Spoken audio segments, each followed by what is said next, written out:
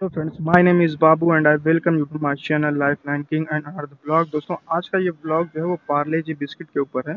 हम आए हैं Karnataka Parle G biscuit company में। तो यहाँ पे जो मशीन से पूरा बिस्किट तैयार होता है, आटा गूंदने से ले करके और रेडी होने तक, ये सारी चीज़ें हम आपको बताने वाले हैं। तो इस वीडियो में हमारे साथ लास्ट तक बने रहना, आपको सारी चीज़ें पता चल जाएँगी। और अगर इसके रिलेटेड कोई जानकारी में चाहिए तो मुझे बताना मशीन में कोई प्रॉब्लम हो गई है, नया ओवन मशीन बनाना है तो उसके रिगार्डिंग आप मुझे मेल कर सकते हैं मैसेज कर सकते हैं, ठीक है? जो भी रिक्वायरमेंट होगी वो पूरी करी जाएगी, ठीक है? तो चलिए वीडियो को शुरू करते हैं टाइम ना वेस्ट करते हुए, और आपको लेके चलते हैं तो अंदर ये जो अभी आप देख रहे हैं हमारे सामने, ये जो है पार्ले जी कंपनी की फ्रेंड साइट है, और अंदर जो है अभी हम आपको लेके चलेंगे और वहाँ पे आपको दिखाएँगे। कि कैसे कैसे क्या बनता है, क्या होता है, ठीक है? तो चलिए शुरू करते हैं। ये आप देखेंगे सब ओवन लगा हुआ है।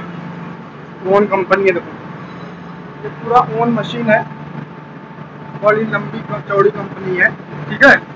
तो अभी हम आपको दिखाने वाले हैं कि बिस्किट कैसे बनती है, कैसे निकलती है है ना? तो फाइनली यहाँ पे देखो सारा प्रोसीजर जो है ना, यहाँ समझे? और इस जाली के ऊपर जो है बिस्किट जाएगा फिर धीरे धीरे आगे निकलेगा अभी जब शुरू होगा तो हम आपको दिखाएँगे ठीक है और आप उधर देखेंगे वहाँ पे आटा डालते हैं और वहाँ से सारा प्रोसीजर चालू होता है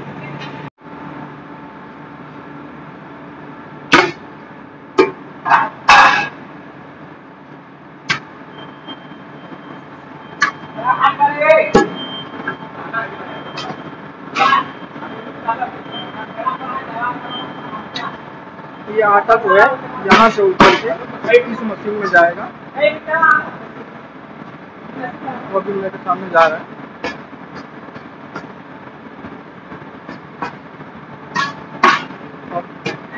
आटा जो है वो इधर गूंदा जाता है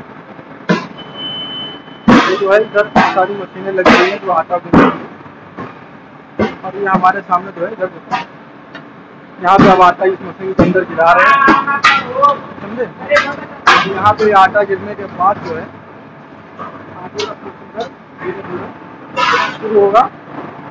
देखो इधर, यहाँ से आटा निकलना चालू हो जाएगा।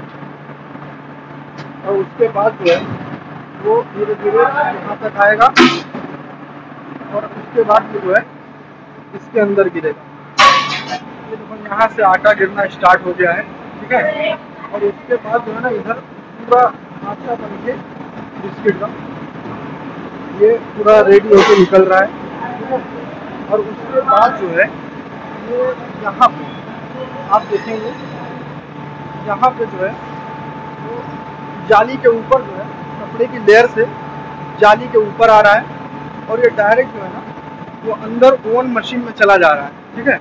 अब ये यहाँ से जा करके धीरे धीरे आगे आपको देखेंगे ये कम से कम 11-12 ओवन मशीन जो है, वो लगी हुई है। तो वहाँ तक जो है, ये जाएगा धीरे धीरे ठीक है?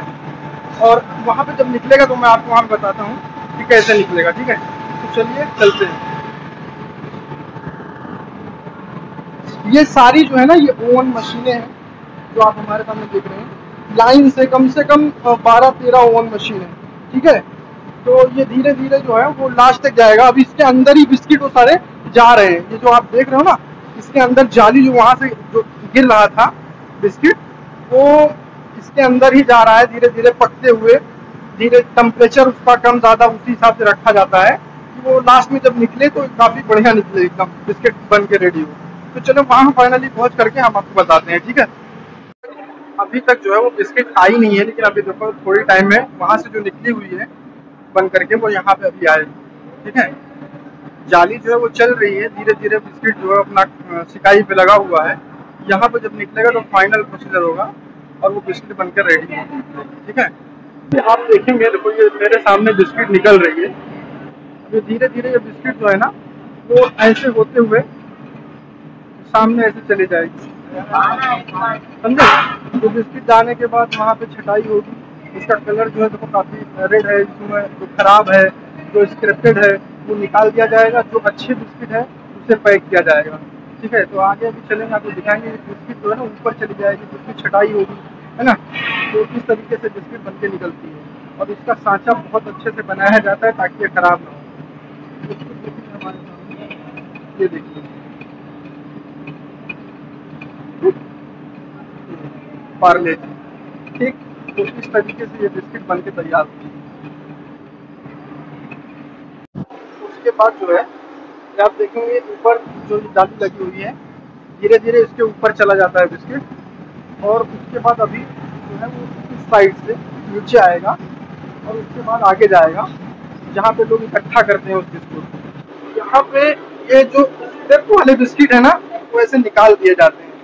ठीक है? जितने भी स्क्रेप के बिस्किट आएँगे, वो सारे यहाँ पे निकाल दिए जाएँगे। थोड़ा बहुत और आगे छटाई होगी, वहाँ से निकाले जाएँगे। डायरेक्ट ना ये आप देखेंगे तो ऐसे ऊपर चले जाएगा, फिर वहाँ ठीक है? धीरे धीरे और उसके बाद वो उसकी पैकिंग चालू होगी। तो आप देखेंगे ना, यहाँ पे हमारे सामने वो ऊपर से नीचे आते हुए बिस्किट जो है सारा, वो यहाँ पे गिर रहा है, ठीक है? और उसके बाद जो है, हम आप देखेंगे तो ये यहाँ पर जो है वो आगे गिर रहा है। यहाँ पे सारी बिस्किट जो है ना एक साथ लेयर लगती चली जाएगी। ये आप देखेंगे तो अब यहाँ पे लेयर लग रही है की। और लोग जो है ना इसको सही कर रहे हैं। अगर कुछ आगे पीछे है थोड़ा आगे पीछे है तो उसको सब सही कर दे रहे हैं ताकि जो है ना वो आगे जाके पैकिंग हो जाए। ये भाई जो है ना अब ये बिस्किट को यहाँ पे रखते हैं। और ये बिस्किट जो है ना डायरेक्ट इसके अंदर से ये मतलब जितना पीस होना चाहिए, उतना पीस यहाँ पे एडजस्टमेंट हो जाता है। और ये एडजस्टमेंट होने के बाद जहाँ से निकलता है, इधर जाता है। ये हर लेयर में अलग अलग जैसे पैकेजिंग करनी है, वैसे जो है ना, यहाँ पे चले जाएगा। और आप जो है यहाँ पे देखेंगे तो ये पार्ले जी का ये रोल लगा हुआ है, ये आप देखेंगे, ये रोल लगा हुआ है।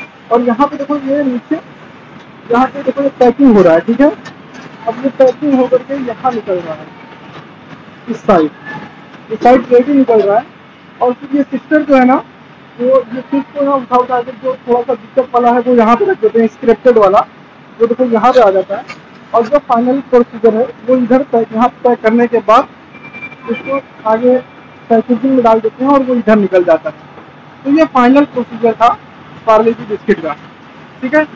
तो आई होप मुझे उम्मीद है कि आपको ये वीडियो बहुत अच्छी लगी होगी।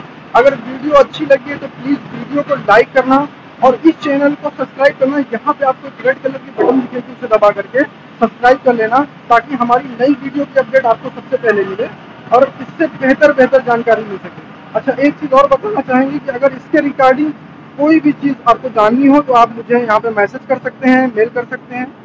ठीक है? तो इस वीडियो को यहीं पर समाप्त करते हैं। और नेक्स्ट वीडियो में आपसे मिलेंगे तब तक के लिए धन्यवाद।